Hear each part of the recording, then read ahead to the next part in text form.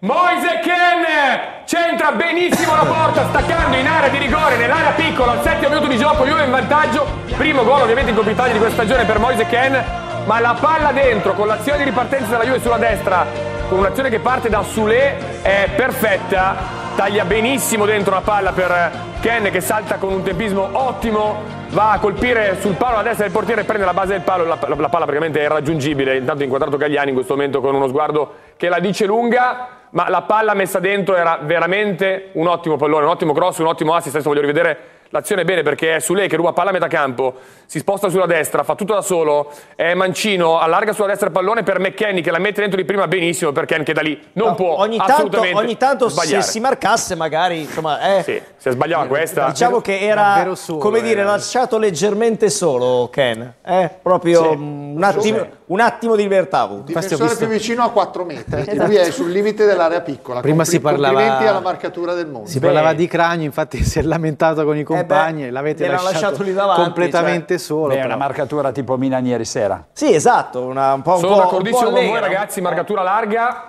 ma la palla che, che, che, che McKenny pallone. mette dentro di No, prima beh. è fortissima Sì, e sì, secondo me dai. taglia fuori anche due centrali anche per quello. sono certo. abbastanza evidenti anche le corse. Monza, uno pari.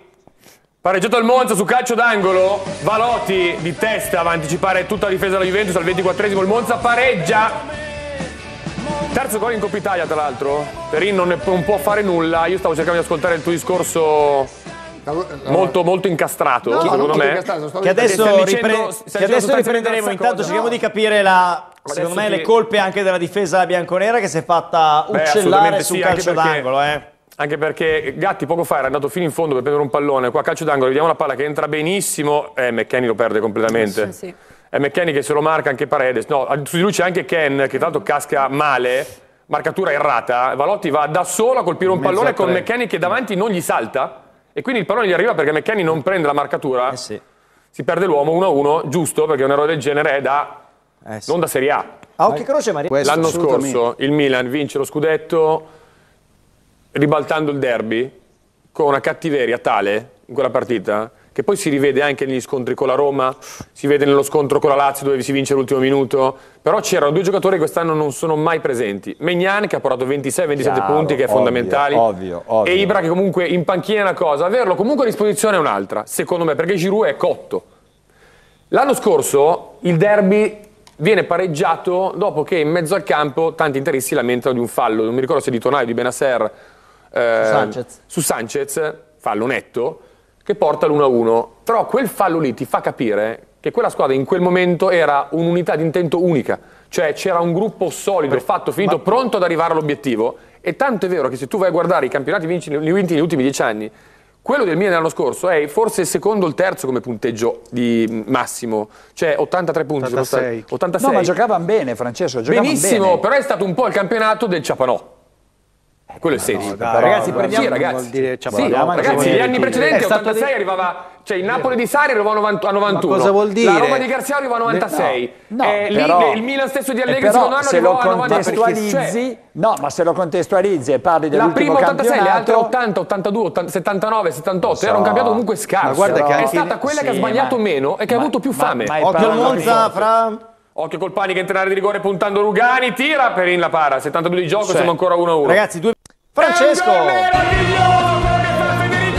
Perché viene trattenuto sulla sinistra, parte praticamente da metà campo, punta il difensore, lo sorpassa, lo tira per 20 metri, lui non cade mai, continua ad andare nonostante il difensore lo trattenga con tutte le forze, entra in area, punto difensore sul lato sinistro, entra di rigore col destro, salta un altro centrale che gli va addosso e mette la palla a giro sul secondo palo, gol meraviglioso, la Juventus non può fare a meno di questo giocatore e soprattutto questo giocatore non può giocare terzino perché è una punta o una seconda punta, come si era visto sia l'anno prima che agli europei. Gol meraviglioso di Federico Chiesa. Credo il- meraviglioso! Credo il primo dall'infortunio, vero?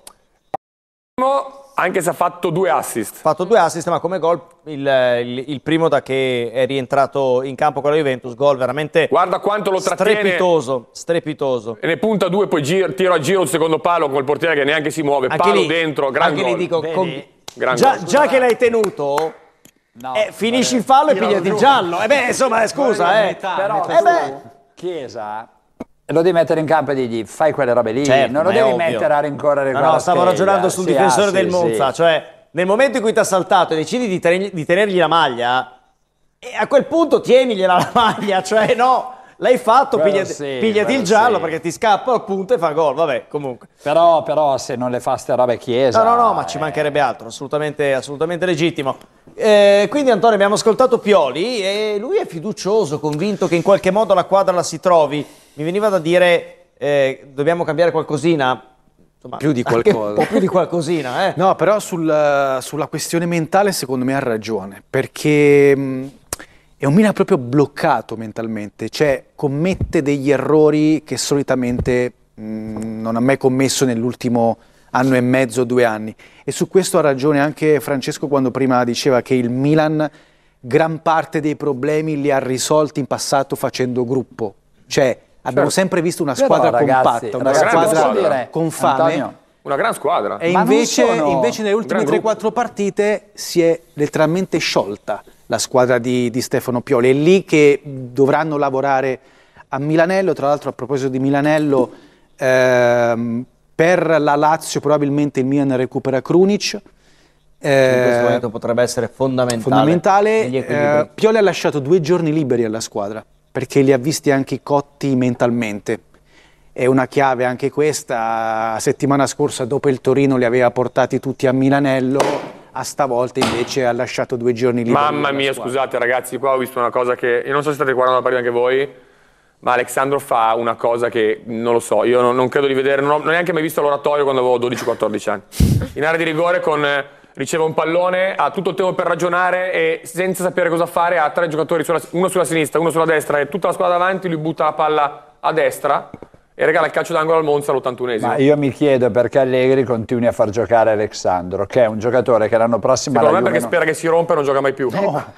Febbraio. Sì. Quindi è un, altro mesetto. Ragazzi, il 25 settembre si è fatto male la prima Eh, ma volta. fra il solio, eh. guarda che il 20 solio è un problema. Consid- considera che, grosso. 25 che ieri, il 18 25 di settembre e 16 ottobre, le due. di- siccome il Milan giustamente dice sono due infortuni diversi, c'è il soleo e ci sono i gemelli, quindi sono due inter- gemello Esatto. mediale. Quindi Però vabbè, soleo- prendiamo pure il secondo, quindi non il 25 settembre, ma il 16 di ottobre. Ok. Novembre, dicembre, gennaio, è- punta il 14 febbraio, sono quattro mesi Antonio per ce lo può No, no, polpaccio. no, i, i quattro mesi sono, i quattro mesi sono scaduti ieri. Sì, Esatto. dico, Perché se, lui se tu, gioca l'ultima- da 16 di ottobre Certo. che è il secondo, sarebbero quattro, cioè anche a ragionare Guarda, per difetto e non per eccesso, Te però lo sono dico quattro mesi per l'infortunio al Te polpaccio. lo dico perché è, è- è il polpa- è il polpaccio che ha distrutto il fine carriera a Chiellini. Cioè, per un portiere soprattutto, avere un infortunio in quella zona del campo, Eh. dato che un portiere spinge moltissimo in quella Esatto. parte del corpo, eh, se tu hai un problema lì, non riesci mai a e, prenderti e neanche allora devo rivolgermi di Quindi nuovo a Paolo e a nominargli Cranio, Sportiello, cioè no, io perché... poi, io poi No, metto anche vabbè. un'altra Però componente. ragazzi è una perdita grossa per il No, Milan. però-. L'ultima cosa e poi, e poi concludo.